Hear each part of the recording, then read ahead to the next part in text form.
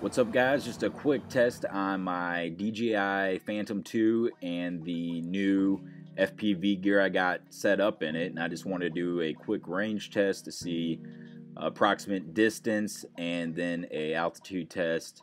Uh, the antennas I'm using, I'm using a Dew Cooler 5.8 uh, gigahertz 14 dBi high gain panel antenna and I have that on the quadcopter itself.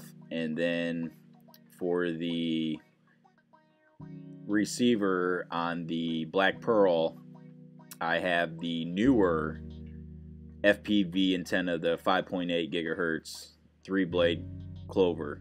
So the, as you can see the screen is pretty fuzzy. I mean there's that's definitely I'd expect something a little bit better than that. So I'm to experiment with some different antennas and things like that. So, but here's just a quick test, and unfortunately, my ground camera died that was recording the screen, the FPV screen. So that cut out about halfway, but I got about 475 feet in altitude, uh, which was decent, and like I said, I'm going to be trying some different antennas uh, in the future. But here's a look at the rest of the video. Enjoy.